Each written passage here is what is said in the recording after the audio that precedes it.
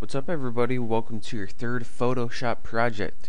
And in this project we're going to be creating a nice planet and space looking photo. So the first thing we want to do is make sure we're in our background layer and go ahead into the black foreground color and grab your paint bucket tool. Now go ahead and paint your background black. This is going to give you a nice space looking background. Now aside from this, right on your background layer, go up to Filter, Noise, Add Noise. And make sure you're on Gaussian and monochromatic and not uniform. What this does right here, the noise, is add an amount of white speckles to your photo. Uh, go ahead and click somewhere between 9 and 11, then go ahead and click OK. What this is going to do is add a variation of white speckles and uh, give you the nice starry looking uh, look. So now that you have space with some stars in it, go ahead and create a new layer and this is going to be our planet. So to do that, go ahead up to the elliptical marquee tool and you can go ahead and make the shape of your planet. Now note if you just go ahead and start dragging, you can uh, make ovals with uh, your mouse and you don't want to do that. What you want to do is hold down the shift key and this is going to make sure that you can create a perfect circle.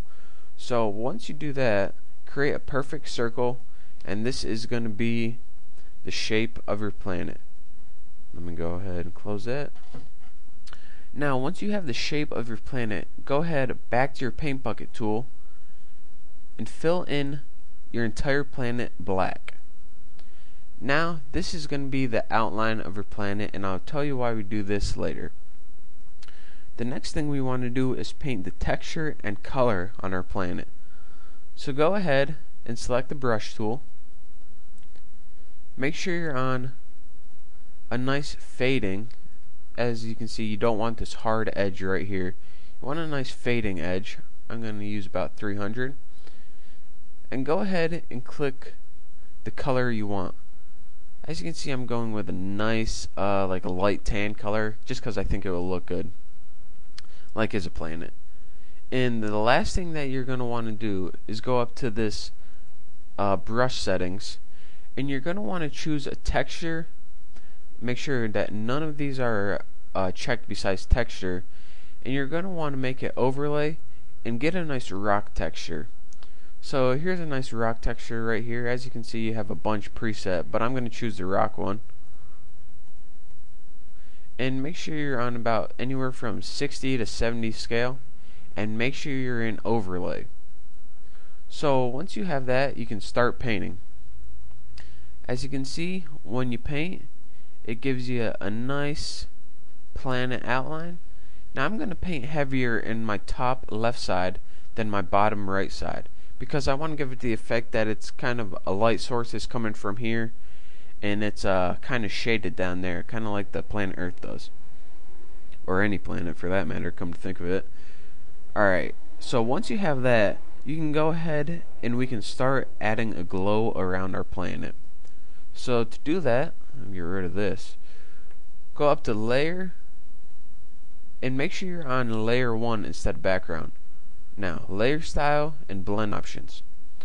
Now, we're going to be working with outer glow and inner glow. Now, for our outer glow, make sure we have it checked and go ahead and click this.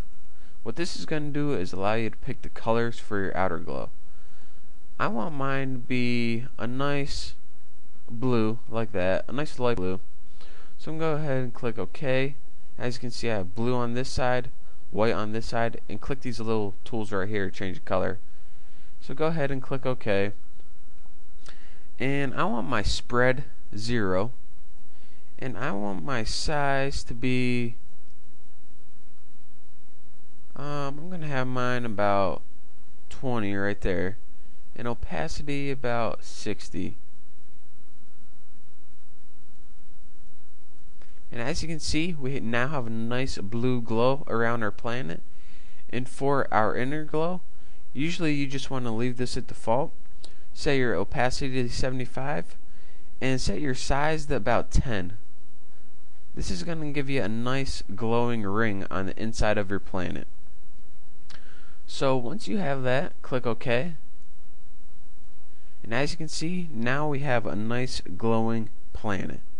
Now we can either leave it from there. Let me move this more to the center.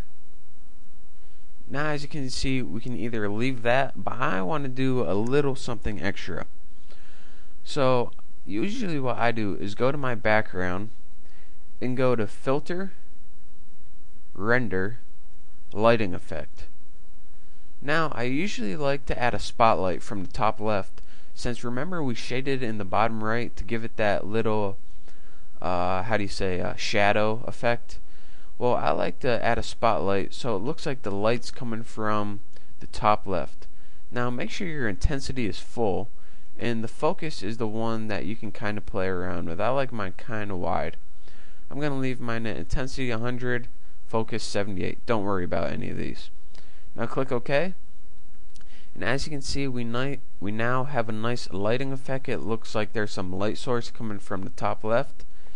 And if you want to do something even extra, go up to Filter, Render, Lens Flare, and you can add these cool star-looking lens flares. The 105mm prime is probably the best one for the sun, or the main lighting effect. So go ahead and add that in the top left and I'm going to make mine about 115 brightness. Now go ahead and click OK. Now as you can see we have a star light source and planet. And I'm just going to go ahead and add filter render lens flare. I'm going to go ahead and add a 50 millimeter uh, right about there. And this is just for a background, sorry, just because it looks cool. So now, as you see, we now have a full scale planet effect. So thank you for watching my Photoshop tutorial, and I hope you learned something. And there you can see the image overall. And make sure that you're watching these tutorials in high def. It'll make a world difference. So again, thanks for watching, and please subscribe to my channel.